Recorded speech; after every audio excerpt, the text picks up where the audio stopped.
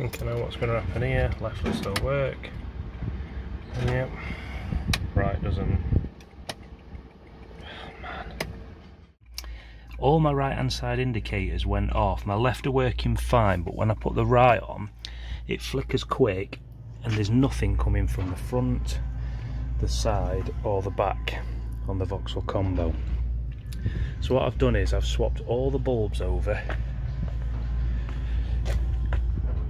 and I've got the fuse box here, I've swapped all the fuses over, pardon the dirty engine bay, and the bulbs are still working. Initially this light went off, the headlight went off, the side light went off, the indicators stopped working. So I've swapped all the bulbs over to this side, the bulbs are fine, they're working. So it must be the relay switch, which is located in here. So I need to remove these, the bolts here, and move the battery up and do that. So I'm going to put the relay switch in and hopefully that'll fix it. Fingers crossed. One other thing to note is when I put my hazards on,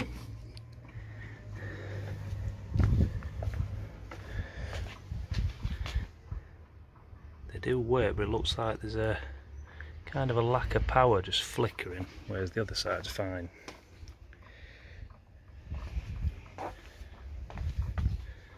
Really intermittent flashing. I'm going to take a take a gamble at the um, trying the relay switch.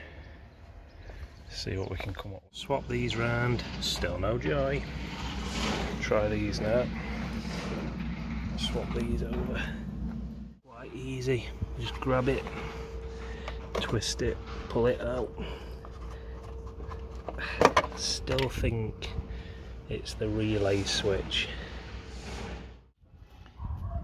One two three four and annoying two ones on the back that you have to use your, move your battery for. If you're thinking of doing this and thinking it's an easy job it's not. Disconnect it battery got that last screw off there. I'm hoping that's last one. I've took off one two three four five six seven screws. In fact eight, maybe eight. Please come off.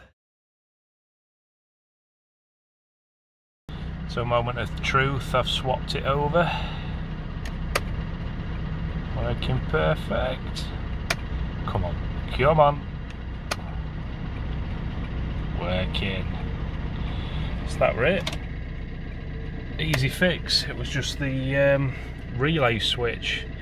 Hopefully this works for you guys. If not I'd probably recommend checking the wiring making sure that the um,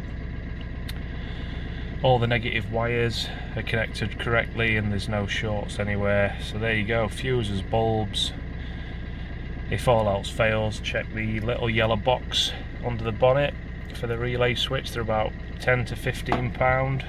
Jobs are good they're all working. I don't know what's up with the old one but get in the bin